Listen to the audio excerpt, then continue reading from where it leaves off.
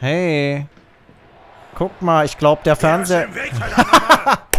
Ja, ich wusste es. nicht wieder vor.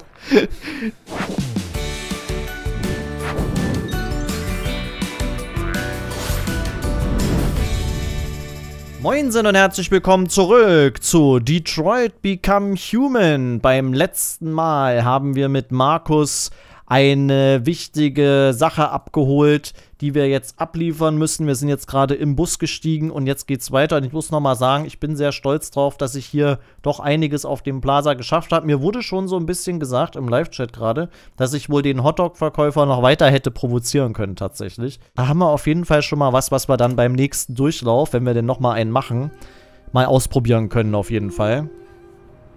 Und jetzt bin ich mal sehr gespannt, wie es weitergeht.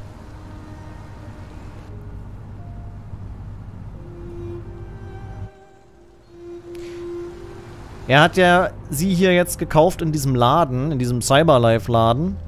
Und jetzt ist die Frage, bin ich jetzt, oder ist sie jetzt, dieser Roboter, den er jetzt gekauft hat, ist das jetzt ein Tochterersatz? Kann man sich Roboter kaufen, um Familienangehörige zu ersetzen? Weil sie hat ja auch den gleichen Namen wie seine Tochter. Scheint ja fast so, ne? Vielleicht ist die Tochter gestorben und sie ist jetzt der Ersatz so.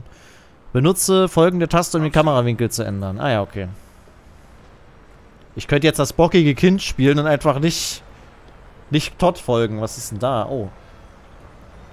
Rebuild North Corktown. A better place to live. Aha. Ist auf jeden Fall eine sehr schöne Gegend hier. Die scheinen nicht wirklich viel Geld zu haben, aber für einen Ersatzandroiden für die Tochter reicht's noch. Und so sieht sie aus. Du machst den Haushalt, die Wäsche, du kochst das Essen und kümmerst dich um... Verdammt, wo zum Teufel ist das Gehör wieder hin? Alice! Alice!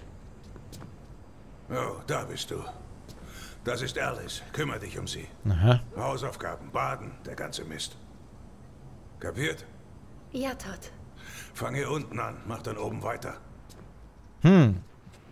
Also Tochter lebt offensichtlich noch. Also ist es einfach wieder nur so ein Haushaltsroboter, alles klar. Halte folgende Taste gedrückt, um deine Umgebung zu scannen. Ah ja, der Detektivmodus. Dringende Aufgaben, sammle Müll auf. Optionale Aufgaben, sammle Geschirr ein, sammle Staubsauger ein, überprüfe den Hinterhof. Ich würde sagen, wir überprüfen mal direkt den Hinterhof. Ich möchte wissen, wie es da draußen aussieht. Nee, aufräumen, aufräumen mache ich schon als menschliches Wesen ungern. Da, als Roboter erst recht nicht. Da, da setze ich mich direkt drüber hinweg. Habt das gehört? Der Fernseher hat eine Sprachsteuerung. Sehr geil. Da gehen wir ja auch gerade... Also, da, das ist ja quasi schon die Situation, die wir jetzt haben. Das Spiel ist aber auch schon ein bisschen älter jetzt, glaube ich. Das ist, glaube ich, drei Jahre alt oder so. Da kam das mit Alexa und so gerade erst auf. Mit der Sprachsteuerung so. Da ging das gerade erstmal richtig los. Glaube ich. Das sieht ein bisschen aus wie der Abschnitt hier bei Krieg der Welten, wo Tom Cruise mit seiner Tochter gewohnt hat. Unter dieser Autobahn da, die dann explodiert. Habe ich gerade den Film gespoilert, es tut mir leid. Schauen wir doch mal über den Zaun. Erstmal spannen, genau. Das ist das Erste, was ein Android macht, wenn er in Betrieb genommen wird. Erstmal die Nachbarn ausspähen, ob da Gefahr ausgeht. Ja, ich will ja nur meine Familie hier beschützen. Ich will ja nur wissen, ob von den Mitmenschen hier drumherum, ob da, ob die alle gefährlich sind irgendwie. Ja, damit ich die, die Risiko, das Risiko einschätzen kann. Das ist alles. Ich, ich will nicht irgendwie ins Badezimmer reingucken oder so. Nee, nee. Ist nicht mein Plan. Ich muss hier auf Nummer sicher gehen. Aber irgendwie so viel kann ich hier draußen gar nicht machen. Kann das sein? Der hat hier Gaskanister rumstehen. Ist auch geil. Einfach mal so im Freien so. Kann man mal machen. Regentonne. Da kann ich, alles, kann ich alles nicht benutzen. Kann ich die Wäsche einsammeln vielleicht irgendwie? Wäsche kann ich auch nicht machen. Ah, hier doch. Das kann ich gleich direkt nehmen. Vielleicht ist sie der Mutterersatz. Das könnte sein.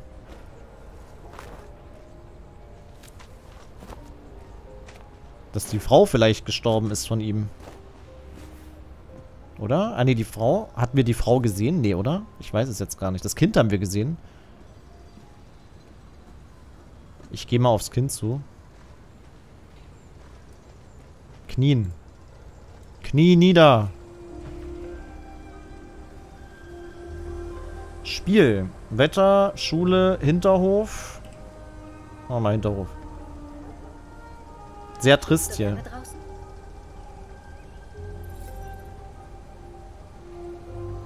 Schu nee, Schule ist ein schlechtes Thema, glaube ich. Ist dir langweilig? Möchtest du was spielen? Mhm. Okay. Schwierig wird das, glaube ich. Nicht so einfach. Wasche die Wäsche... Was? Erneut. Okay. Wie? Hier draußen oder was? Ist das die Waschmaschine? Ne, ist ein Backofen. okay, warte. Oh, guck mal, eine Giraffe. Eine selbstgebaute. Zum Haus. Oh Gott. Nein. Mir wurde schon gesagt, ich soll den Controller nehmen, weil es damit besser geht und weil ich später schnell reagieren muss bei manchen Sachen. Ich gehe mal volles Risiko und benutze mal keinen Controller. Mal sehen, ob ich diese Entscheidung bereuen werde. Wahrscheinlich werde ich sie bereuen. Egal, dann habt ihr noch mehr zu lachen. Dann könnt ihr mich auslachen, wie inkompetent ich steuere. Macht ihr wahrscheinlich eh schon. Nehmen. Ha, das ging schnell, siehst du? Ja, Waschpulver. Sieht alles verdammt gut aus, darf ich das mal sagen an der Stelle? Hey, was ist denn das für Zeug? Red Eyes. Oh, Drogen. Aceton, Lithium. Also ich weiß nicht, dass das Drogen sind. Ich denk's mir jetzt, ne? Oh. Fass bloß mein Zeug nicht an. Das regt mich auf. Tut mir leid, Todd. Ähm, Du hältst dich aus meinen Sachen raus, oder ich werde sehr wütend. Soll ich wütend werden? Nein, Todd.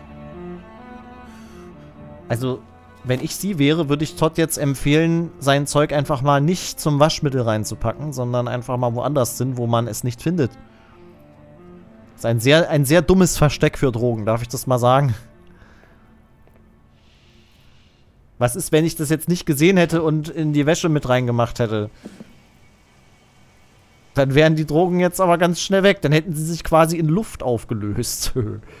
Oder, oder die Klamotten wären sehr rot geworden. Man weiß es nicht. Mal sehen, wo ich noch überall was finde. Oh, der guckt Eishockey. Was? War, da war gerade Sammle Müll auf oder so. vielleicht. Je nachdem, was du brauchst. Wunderbar. kann ich besorgen. Kaffeetisch geputzt. Tresen muss ich noch putzen. Warte. Oh Gott. Bring ich dir morgen. Nehmen wir mal hier alles mit, ne? Sammeln. Also Thank you. Hat sie gerade die Teller weg? Es waren hoffentlich Pappteller. Was noch? Putzte die Küche. Ja, da. Alter, wie viel Pizzapackungen hat er denn hier rumliegen? Der muss den ganzen Tag nichts anderes mit seiner Tochter essen als Pizza.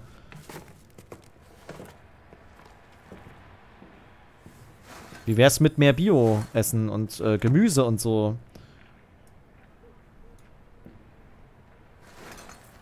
Bring den Müll raus. Dann machen wir das mal. Oh, warte mal, da kann ich mir was angucken. Was? Application rejected. Harmond Bank. Overdrawn Account Notice. Oh, der überzieht sein, sein Konto. Und nicht nur einmal, wie es aussieht. Und hier hat er noch eine Rechnung bekommen. Von, was ist das? Invoice, kann ich nicht genau erkennen. Pay by Digital in Invoice Transac Transaction System. Credit Card Application. Oh, der wollte eine Kreditkarte beantragen, ist abgelehnt worden. Okay, alles klar. Also hat offensichtlich ein paar Geldprobleme, hat aber offensichtlich genug Geld, um sich einen neuen Haushaltsroboter zu kaufen. Da fragt man sich schon, wie geht das denn dann eigentlich? Wo nimmt er denn dann die Kohle her dafür? Dringende Aufgaben, Müll rausgebracht. Kann ich die Straße hier noch ein bisschen erkunden eigentlich? Das ist der Bus. Äh, meine Programmierung verbietet es mir. Ich darf die Straße... Kann ich auf die Straße gehen? Nein, darf ich auch nicht. Boah, wie fies das ist. Da weiß man erstmal, wie scheiße das ist, wenn man als Roboter zur Welt kommt. Man darf nirgendwo hin. Nur dahin, wo die Programmierung es einem erlaubt. Stellt euch vor, ihr würdet irgendwie auf der Straße rumlaufen und dann kommt irgendein Schild und sagt, hier darfst du nicht hin. Ja, okay, ich gebe zu, momentan in der Situation ist das fast so ähnlich. Wenn dann da irgendein Schild hängt, Spielplätze sind gesperrt und so. Verdammt, Mann. Ich ärgere mich in letzter Zeit auch jedes Mal, wenn ich versuche, einen Spielplatz zu benutzen und ich darf nicht. Weil dann da so ein Schild kommt, das mir sagt, bitte Abstand halten und keine Spielplätze benutzen. Putze unten, okay? Ja, oder wenn in der eigenen Wohnung ein Schild vor der Tür ist, auf dem steht Putze. Ich ignoriere diese Schilder normalerweise immer sehr gekonnt. Ersten Stock abschließen. Okay, machen wir das mal. Hier sieht es schon ganz gut aus. Ich gehe nach oben. Tu einfach deine Arbeit und hör auf mich zu nerven. Alles klar. Er steht nicht so auf Statusberichte. Hey. Guck mal, ich glaube, der Fernseher... ja, ich wusste es. Nicht wieder vor. Nein, warte mal. Ich habe da was gesehen. Der, der Fernseher ist... Was? Todd schaut Fernsehen. Ich darf ihm nicht... Weil, von der anderen Seite. Das akzeptiert meine Programmierung nicht. Ich hebele das System jetzt aus. Pass mal auf. Ich gehe einfach von der anderen Seite ins Bild. Ähm, ich meine, ich... Guck mal, der ist gecurved. Nein! Okay. Ähm, ich lasse ihn mal alleine, ne? Ja, genau. Drogen konsumieren, während die Tochter da in der Ecke sitzt und äh, spielt. Ey, warte mal, lesen, genau. Gucken wir doch mal. All Sports. Androiden-Power sollte sie verboten werden. Football-Irrsinn. Die neuesten Transferspekulationen. Androidenpower sollte sie verboten werden. Im dritten Spiel der Saison durchbrach der Androidenwerfer X67 mit einem Pitch die 190 km/h Marke. Der menschliche Better konnte erst schwingen, nachdem der Ball den Fanghandschuh bereits berührt hatte. Ein Androiden, ein Android pro Team wurde als Innovation präsentiert, doch mittlerweile dominieren sie die Teamstrategie. Bei jedem Draft übertreffen sie großen, äh, was? Die großen Profi-Baseball-Teams ihre eigenen Transferrekorde, um die neuesten Androiden-Modelle zu erwerben. Doch leidet das Spiel darunter? Jenny Waterfield, Chefredakteurin des Fanmagazins Home Run, sagt, die Fans seien desillusioniert. Die Magie des Sports sieht die Grenzen des menschlichen Potenzials. Dass eine Maschine diese Grenzen bricht, ist nicht aufregend oder überraschend. Dem stimmt nicht jeder zu. Christopher Lennox, Baseball-Koryphäe und Ex-Pitcher findet, dass Androiden das Spiel aufregender machen. Die Androiden wirbeln alles durcheinander und pushen die Spieler, ihr Bestes zu geben. Das Spiel kann nur überleben, wenn es sich weiterentwickelt. So ein bisschen wie mit der Torlinienkamera im Fußball. War ja auch lange Zeit sehr krass diskutiert. Die Transportinnovationen, die Kalifornien bewegt, die Punkte verbinden. Politiker im Fokus. Sind US-Senatoren wirklich so korrupt? Erdbeben in China tötet 10.000 Menschen. Lesen wir doch mal die News. Die Punkte verbinden. Transportinnovation. Die neue Subtube beendete heute ihre erste Reise von Manhattan nach Downtown LA in unter zwei Stunden, weniger als die Hälfte des fünfstündigen Fluges. Die Höchstgeschwindigkeit von 2900 km/h wurde möglich, weil die Bahn durch eine Unterdruckkammer fährt, die den Magnetmotoren eine fast reibungsfreie Umgebung bietet. Für Pendler eröffnet sich so die verlockende Aussicht, nach einem langen Arbeitstag im Big Apple die Füße an den Golden Coast ins Wasser zu hängen. Kaliforniens Immobilienmärkte reagieren Preise in den Vororten um 64% gestiegen. Immobilienmaklerin Charlene Lowy aus Los Angeles weiß, woher die neuen Käufer kommen. Das sind Typen von der Ostküste, vor allem New Yorker. Sie sehen eine Chance, den New Yorker Lohn zu behalten und einen LA-Lifestyle zu führen und wollen möglichst schnell profitieren. Immobilien sind nicht das Einzige, das verändert wird. Schulplätze werden knapp und die Einzelhändler in den Vororten ziehen in Erwartung der Dollars aus New York die Preise an. Es wird erwartet, dass Langzeit-Kalifornier aus den Städten verdrängt werden. Kann er mal bitte aufhören zu stöhnen? Ich lese hier vor. Weshalb sie die weshalb sie gegen die neue Linie protestieren. Wie ein wütender Demonstrant es ausdrückte, zuerst nimmt uns Detroit unsere Jobs, dann New York unsere Häuser. Wann hört das auf? Alles klar, haben wir durchgelesen. Das muss man ja auch immer mal machen. Lesen bildet, habe ich gehört. Was macht sie? Sie sieht echt schon so ein bisschen psychisch kaputt aus. Sie hat schon ein bisschen sehr gelitten, glaube ich. Und ich wette, ich bin nicht der erste Android, den sie zu Gesicht bekommt. Und ich wette, der Vater ist so ein brutaler Sack, der dann die Androiden kaputt macht, sodass er immer wieder neue braucht. Deswegen freundet sich das Mädel erst gar nicht mit ihr hier an, weil sie das schon kennt, den Ablauf. Bestimmt ist es so. Oh nein. Bach das Bett, beseitige die Unordnung, lüfte das Zimmer. Das ist ein hoffnungsloses Unterfangen. Das ist wie Eulen nach Athen tragen, ist mindestens genauso sinnvoll. Dann machen wir mal sauber, ne? Ah, lesen, sehr gut. Schon wieder All Sports. Androiden Quarterback, Cyberlife präsentiert. Androiden Quarterback, Slam Dunk Basketballstar Gary Gibbons im Interview. Jawohl, machen wir das doch mal. American Football hat sich dem Einsatz von Androidenspielern bisher erfolgreich widersetzt. Wichtige Spiele sind noch eine rein menschliche Angelegenheit. Doch angesichts der Präsentation von Cyberlifes Demo-Android QB1000, einem Quarterback, der von Endzone zu Endzone werfen und ein 15 cm großes Ziel treffen kann, könnte sich das bald ändern. Das Modell ist außerdem mit über 1500 Spielzügen programmiert. Von Klassikern wie Bootlegs und Handoffs bis hin zu spezielleren Manövern, die alle in Echtzeit angepasst werden können. Bei einem Cyberlife-Event in Detroit wurde der QB1000 vorgestellt. Der Hersteller zeigte eine Reihe von Prototypen, die das Potenzial modernster Technologie demonstrieren sollen. Cyberlifes neueste Technologie bringt die Fans zum Schwärmen. Doch Roy Kenstone, Gründer der Anti-Androiden-Fangruppe, sieht auch einen düsteren Aspekt. Cyberlife weiß genau, was sie mit dieser Demonstration anrichten. Sie hoffen, unseren Sport so zu verzerren, wie, es, wie sie es mit anderen gemacht haben. Trotz dieser Bedenken betrachten andere es nur als Frage der Zeit, bis Basket und Baseball äh, im, nee, Quatsch. Im Basket und Baseball werden bereits Androidenspieler in Erwägung gezogen. Ein Quarterback mit LED könnte schon bald Realität sein. LED? Der leuchtet dann oder was? Leuchtender Quarterback. Der fängt dann an zu leuchten, wenn er so ein, äh, so ein Tor macht hier. Wie heißt das? Home Run? Nee, das ist beim Baseball. Ach, keine Ahnung. Ist alles dasselbe. Der Preis des Lebens. Wie autonome Fahrzeuge über Leben und Tod entscheiden. Weltraumtourismus. Ist der Mars Ihr nächstes Reiseziel? Auf jeden, lies mal. Sieht ein fahrerloses Fahrzeug einen Unfall vorher, trifft der Computer des Autos Entscheidungen über Leben und Tod. Zum Beispiel, welcher von zwei Fußgängern überfahren werden soll. Hervorragend. Doch über den exakten Prozess, mit dem Autos diese Entscheidungen treffen, ist nur wenig bekannt.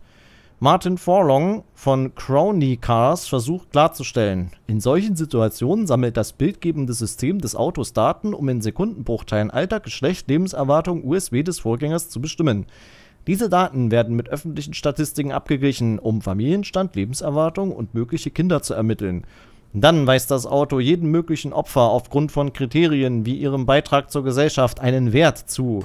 Leben, die andere Leben retten, wie Ärzte und Krankenschwestern, werden bevorzugt.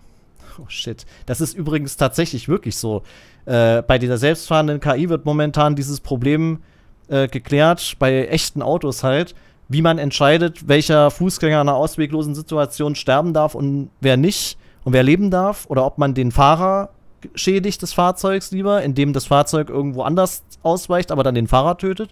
Das sind so die Fragen, die momentan tatsächlich die Entwickler beschäftigen.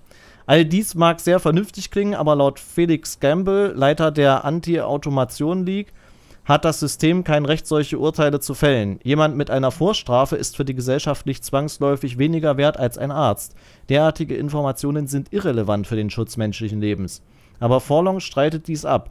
Wir möchten, dass unsere Autos die bestmögliche Auswahl treffen und dafür benötigen sie alle verfügbaren Informationen. Je mehr, desto besser. Das Ding ist aber, die dürfen die Entscheidung eigentlich gar nicht treffen. Die Autos müssten sich in dem Fall eigentlich neutral verhalten. Und das ist eigentlich das, was der richtigere Weg wäre. Auch wenn das dann natürlich zu fiesen Konsequenzen führt. Aber das ist ja, wenn ein normaler Mensch fährt, auch so. Ist jetzt die Frage, will man das eliminieren und die Entscheidung gezielt zu einem besseren, vermeintlich besseren Ergebnis manipulieren oder sollte sich das Auto neutral verhalten, wie es, sich, wie es ja eigentlich richtig wäre?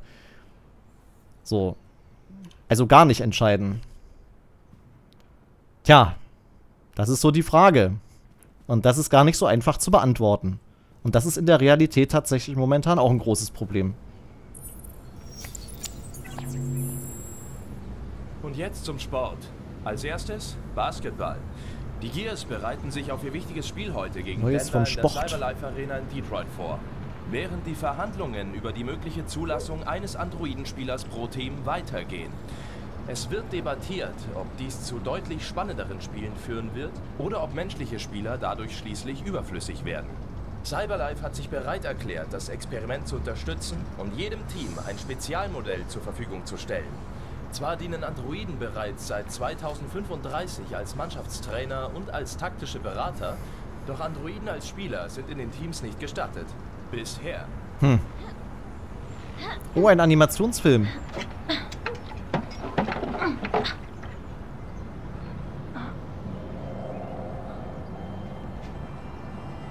Hm. Das ist ein Werk von Disney.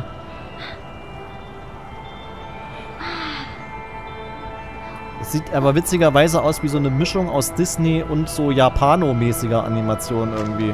Wie so ein merkwürdige... Wie so ein Hybrid. So ein bisschen. Das kommt raus, wenn Disney versucht, den asiatischen Markt zu erobern. So ein bisschen. Definitiv, genau das ist das. Okay, da läuft es scheinbar im Loop ab, okay. Und dann kommen die Avengers noch rein und, äh, ne? Mit Lichtschwertern. Aufräumen!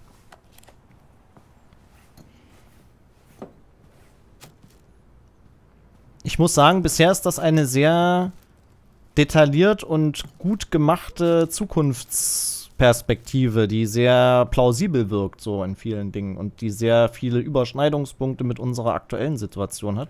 Finde ich eigentlich bisher sehr gut gemacht, muss ich mal so sagen. Man erkennt sehr viele Parallelen und äh, Punkte, wo sich etwas genau in diese Richtung entwickeln könnte in unserer heutigen Situation. Was? Jetzt habe ich nicht... Nein, das war auf der falschen Seite jetzt. Mist. Was muss ich jetzt noch machen? Oh, warte, hier ist noch. Hier muss ich noch aufräumen. Oh, Rechnungen. Noch mehr Rechnungen.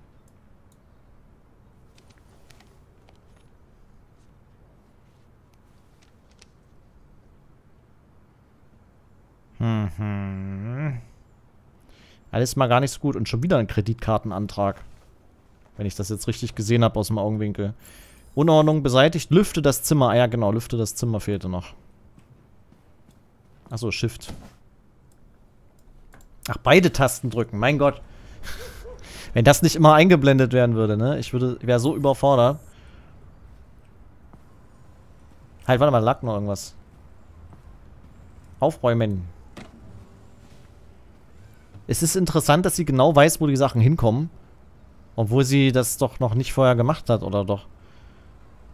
Androiden Ach nee, das hatten wir schon. Nee, das hatten wir schon. Dachte, das wäre was Neues. Was ist eigentlich das Buch da? Ist das ein Buch? Nee. Gibt's hier im Schrank noch was? Nee. Ist das hier der Hulk? Das ist der Hulk. Aber ein ganz merk... Das ist der... Das ist, glaube ich, äh, ein ganz merkwürdiger Hulk ist das. Das brauchen wir nicht anschalten. Nee, da haben wir doch alles jetzt, genau. Haben wir alles erledigt. Sehr gut, dann gehe ich mal raus. Ich habe das Mädel hier gerade gesehen. Sie ist ja nach links gelaufen. Weg da. Ey. Na, klasse. Optionale Aufgaben. Putze. Oh nein. Ja, okay, ich mache ja schon. Ich bin ein guter Android. Ich putze das Klo ja schon. Ey, das sieht aber gar nicht so unsauber aus. Ich hätte jetzt. Also mal im Vergleich zum restlichen Haus sieht das Bad eigentlich echt noch vorzeigemäßig aus, wenn ich das mal sagen darf. Okay, das Bad nun wieder nicht so. Hä? Putze das Bar. Okay. Sortiere Flaschen. Aufräumen. Erstmal aufräumen.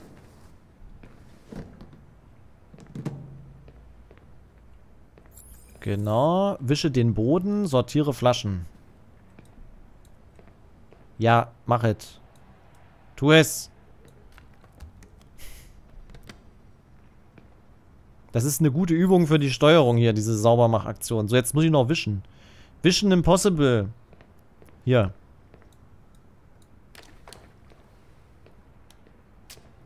Äh, gehört da nicht noch was vorne dran?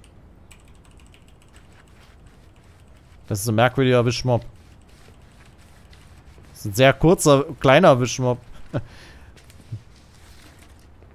Merkwürdig. Also es ist halt ein Zukunftswischmob, ja, der funktioniert so. Boden gewischt. Ich würde ja gerne dem alten Typen mal eins auswischen. Aber leider darf ich das nicht. Da muss ich vorher noch durchdrehen. Das kriege ich aber auch noch hin. Ja, das ist auch geil hier so neben so einer Baustelle. Putze oben. Hier habe ich ja schon. Da bin ich schon fertig. Muss ich jetzt noch hier rein. Aufmachen. Ich möchte gern dein Zimmer aufräumen. Es dauert nur zwei Minuten. Ist das okay, Alice? Schauen. Was haben wir denn da Schönes? Alice im Wunderland. Alice im Wunderland. Hm. Natürlich. Sehr schön. Warte. Ich konnte da gerade gucken. Jetzt kann ich es nicht mehr. Hm. Ah. Machen wir mal das Bett. Eine Wuthöhle. Was? Ich glaube, das ist mehr so, so ein kleiner, so ein kleiner, so ein kleines Schloss, das er sich gebaut hat. Oh, guck mal, da ist ein Bär da hinten drin. Mehrere. Mehrere. Ich darf da aber nicht rein, ich bin zu groß. Bin schon so groß dafür. Schweinerei. Das machen wir... Nein, nicht aufmachen. Das nimmt die einem doch übel. Hier ist doch bestimmt noch irgendwie... Irgendwo... Irgendwas zum Aufräumen noch. Ah, lüften, genau. Ha, wie schnell ich das geschafft habe. Ich bin stolz auf mich. Wie ein echter Androide habe ich das geschafft. Oh. Was? Da wurde gerade die Höhe freigeschaltet irgendwie.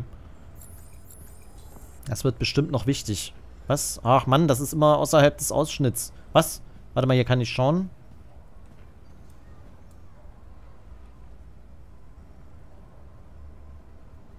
Du liest wohl gerne. Naja. Das ist äh, ganz toll. Dann würde ich doch mal sagen, gehen wir doch mal wieder raus, oder? Ich glaube, jetzt habe ich ja hier oben alles erledigt.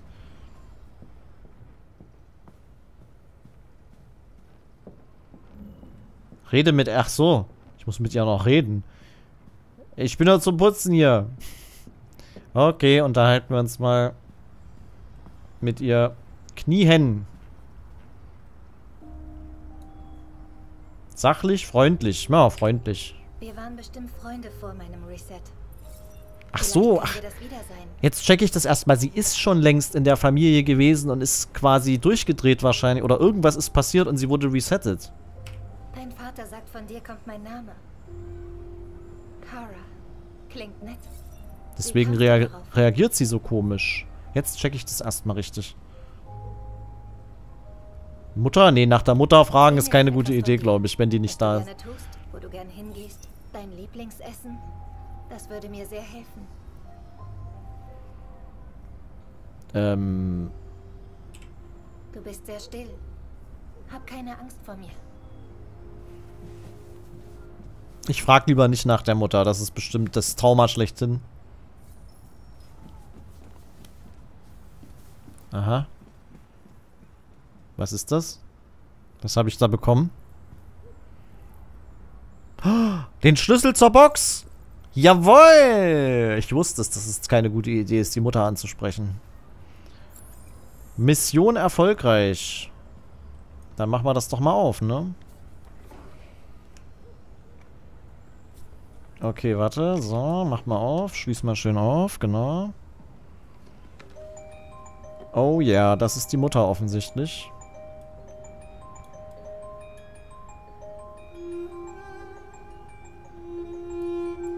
Ein Kleeblatt.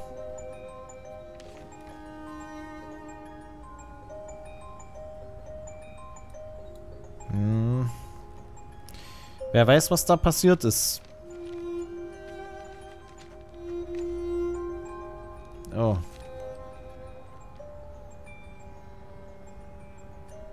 Kopfverletzung.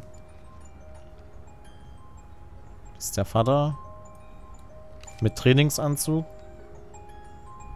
Oh, der hat die Mutter geschlagen.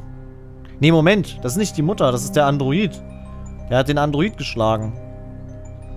Er hat ihn kaputt gemacht. Also mich. Das bin ich quasi. Sie. Sie hier. Er hat sie kaputt gemacht. Er lässt seinen Frust an ihr aus.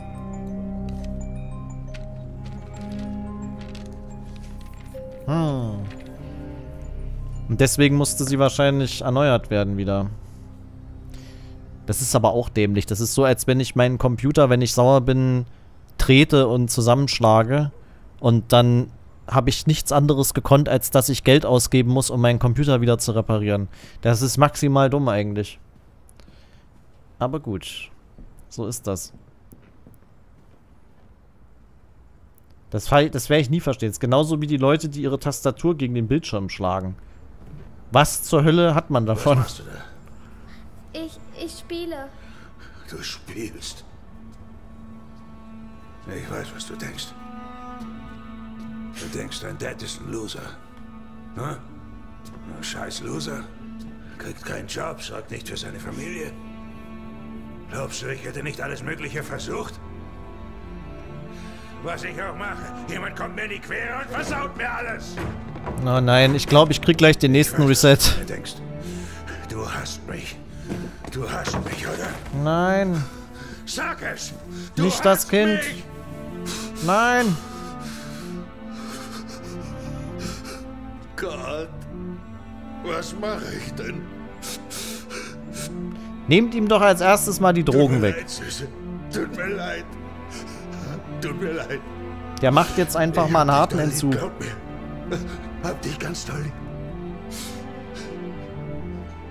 Ich finde, ich finde, diese Androiden, die sollten so eine Schutzmechanismen drin haben, dass wenn die illegale Aktivitäten in den vier Wänden finden, dass die dann direkt sagen, okay, jetzt habe ich hier Drogen gefunden, das wird direkt der Polizei gemeldet.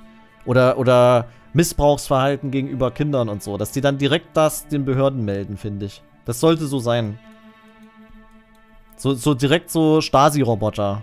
Wir sind aber ganz gut gewesen hier eigentlich. Trotz Zimmerputzen. Guck mal, da fehlt was. Und ähm, hier haben wir was nicht gefunden. Hinterhof. Im Hinterhof war offensichtlich irgendwas. Da haben wir was nicht bekommen. Hier bei ähm, Kleider erneut waschen. Da ist irgendwie was nicht gewesen, was wir nicht gefunden haben. Ja, trotzdem. Und dann hier, Kara entdeckt einen Weg nach unten. Also da haben wir schon ein bisschen was jetzt nicht gefunden. Aber ich bin jetzt eigentlich so für den ersten Durchgang, bin ich jetzt eigentlich erstmal ganz zufrieden mit der Performance. Kann sich so eigentlich sehen lassen. Spielbär ist für den absoluten Überwachungsstaat, ja. Ganz ehrlich, ey, in so einem Haushalt, wo alles schief geht und wo der Vater noch äh, Missbrauch gegenüber dem Kind so äh, praktiziert und dann noch Drogen konsumiert, da ist es eigentlich die Pflicht, egal ob das jetzt ein künstlicher ist oder, oder ein richtiger Mensch, das zu melden. Den Behörden, den Autoritätspersonen, ja.